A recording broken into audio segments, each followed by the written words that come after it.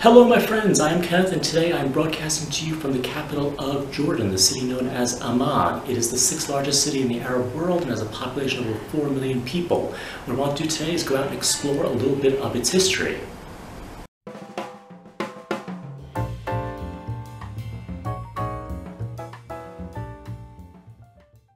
So I had a really good experience at this restaurant yesterday and thought I'd give it one more try. One of the reasons why I like it so much is that because in addition to good food, it has a great view to the main thoroughfare of the city.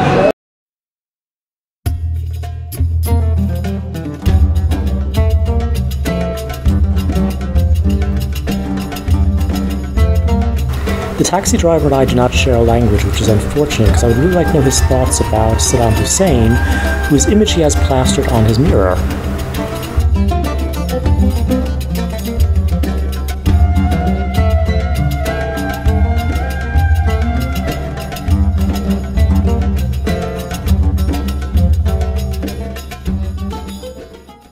The Romans conquered the Levant region in 63 BC. This theater was constructed in 100 AD during the reign of Antoninus Pius.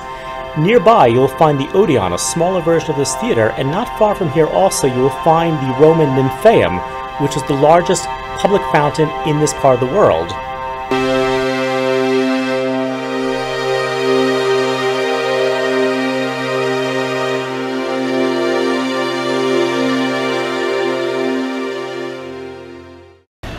So unfortunately, the Jordan Museum is closed this afternoon, but I am right next to the Museum of Popular Tradition. I don't know too much about this, but I'm hoping I'll be pleasantly surprised when I'm inside.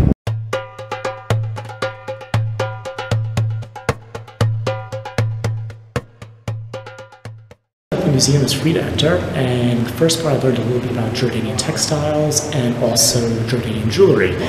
In this part of the museum, we're going to learn a little bit about some 6th century mosaics that come from the Jordanian city of Jerash.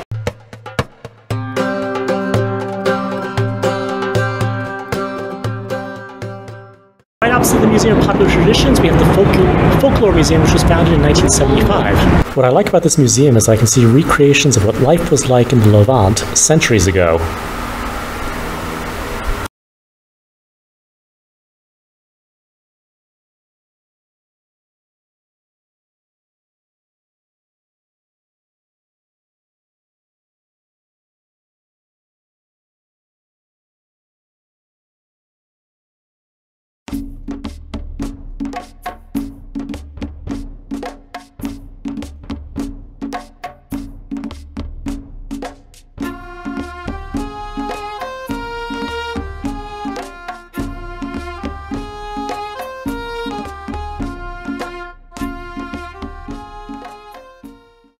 So we are standing inside the Nymphaeum, which was built in the 2nd century AD during the Roman period when the city of Amman was known as Philadelphia. The Nymphaeum is the largest public fountain of its kind in this part of the world.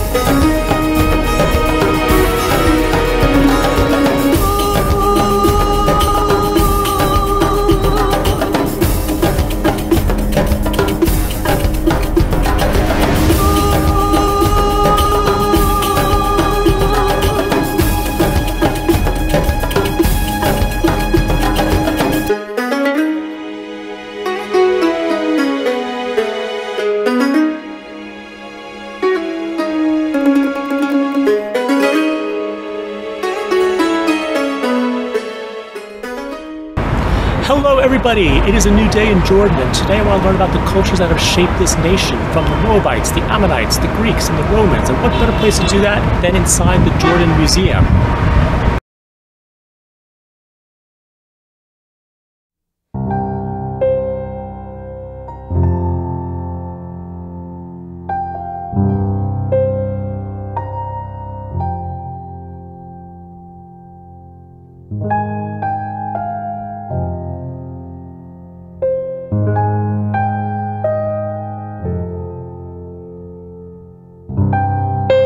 So this is where my tour of the Jordan Museum came to an end. I took a taxi back to my hotel and got myself ready for the three-hour journey by bus to Petra the following morning.